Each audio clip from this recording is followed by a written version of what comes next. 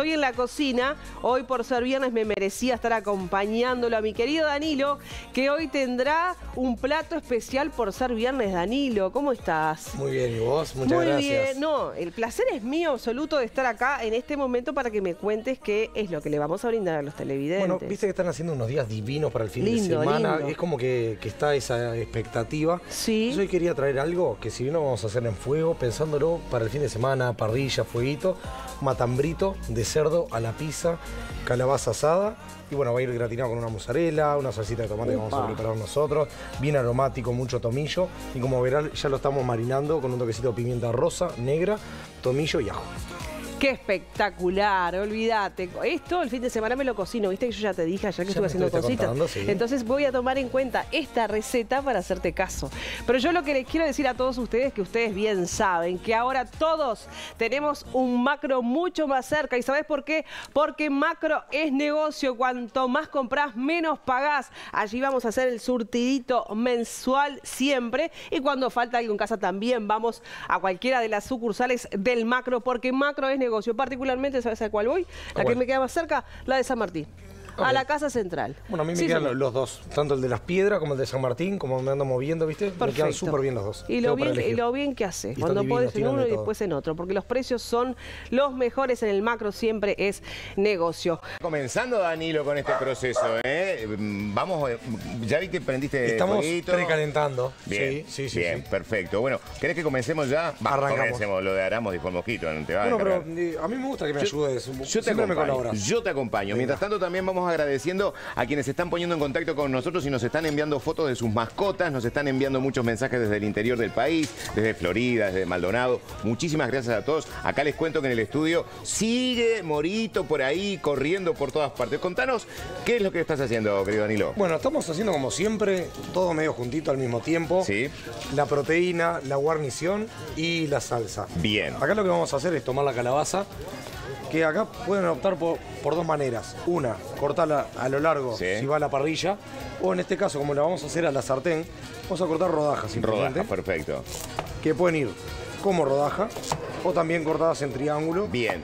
Te hago una consulta sobre el tema de cortar la calabaza cuando llegas a la parte donde están todas las semillas. La Esas semilla. semillas, ¿tiene- ¿Se pueden, en casa se le puede dar algún uso? Porque viste que si uno va ¿A la al semilla? supermercado, uno puede comprar las semillas de zapallo. Bien. Pero las que tenemos, las que nos va quedando, ¿se pueden tostar? ¿Se puede hacer algo? Bueno, mira, lo que conviene ahí es dejarla en remojo, se ablanda, las pelamos y lo que se come, lo que se te vende en el supermercado, es el, el- el centro Perfecto, de la semilla. perfecto, ¿sí? perfecto. Este, da un poco de trabajo, pero es algo que queda muy rico, es muy nutritivo también, está buenísimo para perfecto. utilizar.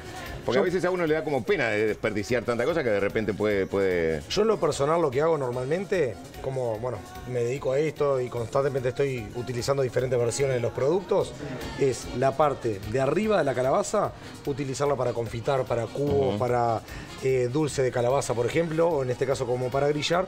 Y el caso de la parte que trae las semillas, Sí, retiramos con una cuchara, ¿tá? este, a ver si se ve por ahí, retiramos Ahí de esta manera la semilla, la pueden guardar para utilizar, como decía Robert, o este, la descartan en caso de que no tengan el tiempo. Si las vas a eh, guardar entonces en agua. En agua hasta que se ablande y después pelamos. Perfecto. ¿Y en heladera?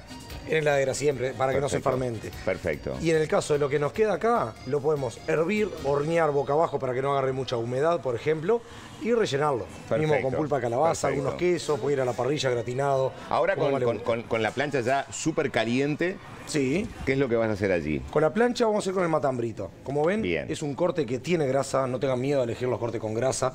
Este, esto va a ayudar para que no, no se reseque, por ejemplo, y que se pueda ir cocinando. Tenemos la plancha bien caliente que pueda ir al horno. Bien. Y va a ayudar al dorado y a que no quede la carne seca. Ahí estoy viendo que dejaste los granos de la pimienta. De la pimienta. ¿Vas a dar vuelta a eso o no? Porque se nos pueden quemar los granos de la pimienta. ¿no? Si nosotros eh, marinamos la pimienta de todos lados, cuando la vayamos a cocinar se va a quemar, va a quedar amargo, no es la idea. Entonces en este caso vamos a dorar bien de un lado, donde Bien. tiene mayor cantidad de grasa, que le voy a, mostrar antes de que se dore. Ahí está. ¿Ah? Ya estaba tan caliente eh, la, la- la plancha que, Que ya empieza a dorar. Ya empezó a generar ahí la marca del dorado. Y después cuando lo vayamos a dar vuelta, va a ser, damos vuelta, agregamos el queso y al horno, porque Perfecto. no vamos a querer dorar esa pimienta. Es solamente darlo vuelta, el quesito por encima con su salsa Perfecto. y a, a cocinar al horno. Perfecto. Eh, ¿Este sellado cuánto tiempo? Hasta que dore. Hasta Hasta, que dore. simplemente, que veamos el color que nosotros querramos. Y acá, para hacerlo un poquito más amigable, vamos a cortar en cuartos simplemente la calabaza. Ujú. Acá viene una duda que yo siempre tengo, es qué pasa con la cáscara de la calabaza. Bueno, eso viste que siempre me, me preguntan tanto con la papa, con el boñato. Va en gusto, es un gusto personal. Que Claro, pero a diferencia de la, de la cáscara de la papa, que sí la podés comer, muchas veces la cáscara de la calabaza te queda un poco dura, ¿no? Bueno, si más bien que se nada- despega después cuando... es seleccionar la calabaza que no tenga eh, como lo- los ojitos, eso- esos machucones que a veces tiene, que eso sí queda bastante duro. Mientras no tenga eso la puedes comer perfectamente, pero es un gusto personal. Perfecto. En este caso te va a ayudar a que no se te rompa, va, va a quedar sostenida por la cáscara. Este, Danilo, ¿en la sartén ya tenías también allí donde estás poniendo la calabaza aceite? No, en este caso No en le habías seco. puesto ninguna, ninguna base de, de La arrancamos en seco, Bien. después le vamos a agregar las hierbitas, vamos a agregar la materia grasa y recién ahí vamos a, Perfecto. a girar. Vamos a Bueno. verificar a ver cómo está el matambre. Bueno, mira, en este caso ya apago el fuego. Lo damos vuelta y en este momento es donde vamos a rallar los quesos y vamos a preparar la, la cobertura. Bien. ¿Qué tipo de queso, Danilo? Que funda, en este caso mozzarella, provolone, ¿Puede ser un Dambo? Sí, por supuesto. Bien.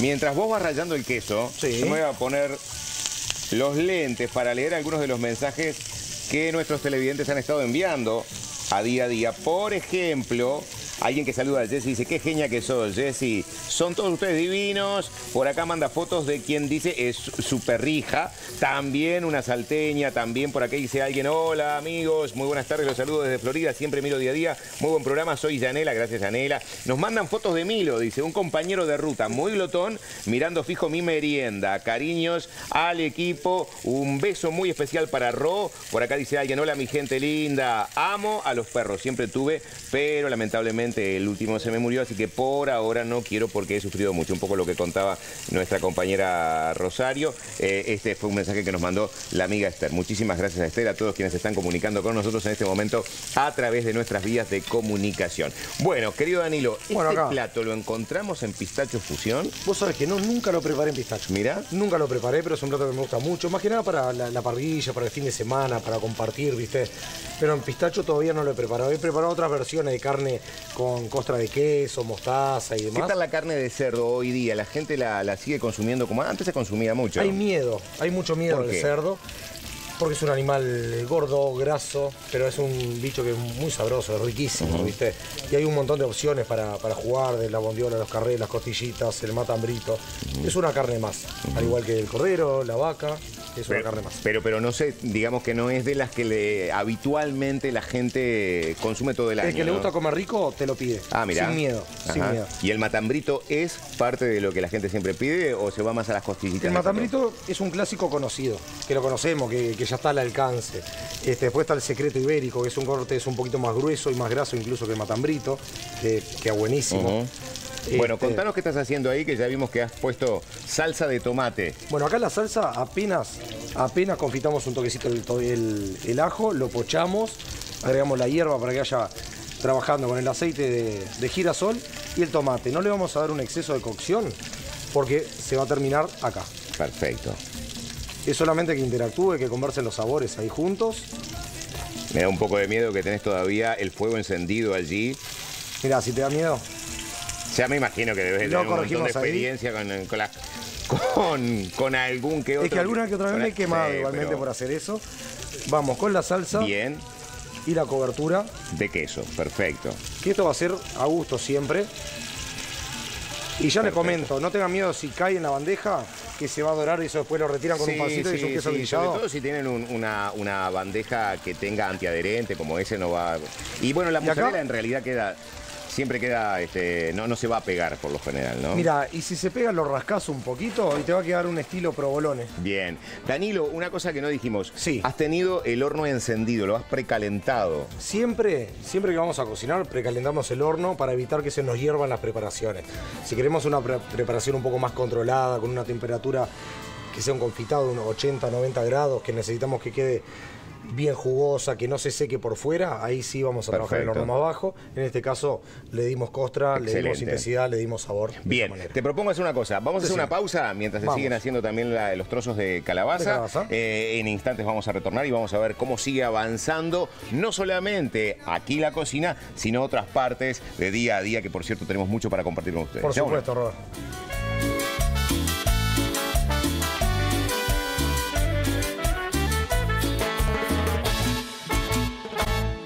Y yo no puedo ser yo si no me arrimo a la cocina. Y este dije- le- cuando llegué le dije a Danilo, che, ay, me perdí toda la preparación. Que... Dice, es re fácil, me dijo. Es re fácil, re fácil. sencillita, sí. Mira, Tan sencillita como ahí estamos es, así, terminando. rápido, menos de un minuto. ¿Cómo hago el, a la pizza? Las calabacitas en el sartén. Sí. Vamos jugando ahí. Puede ser en seco. Yo, yo lo hice en seco. Puede ser Bien. con aceite. La puedes servir. Después mandar al horno. El matambrito, una doradita con la grasa. No la retiramos. Preparamos la salsita, una salsita de tomate como más te guste. En este caso fue orégano, eh, orégano, ajo y tomate. Bien. Puedes agregarle cibulet, tomillo, todo, todo lo que más te guste de hierba que ¡Qué aromatice. rico! Le agregas todo.